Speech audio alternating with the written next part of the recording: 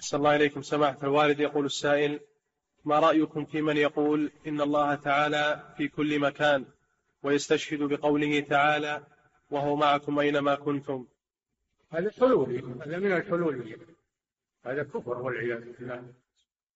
الذي لا ينزه الله عن كل مكان حتى في الحمامات والقاذورات. تعالى الله عن ذلك في كل مكان. الله جل وعلا أخبرنا أنه في السماء وأنه استوى على العرش وأدلة العلو تزيد على ألف دليل. ذكر منها الحافظ الذهبي في كتاب العلو لعلي الغفار ذكر منها أدلة كثيرة. الله جل وعلا في العلو.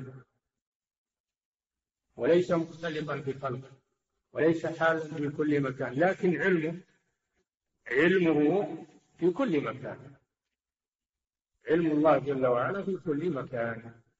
نعم.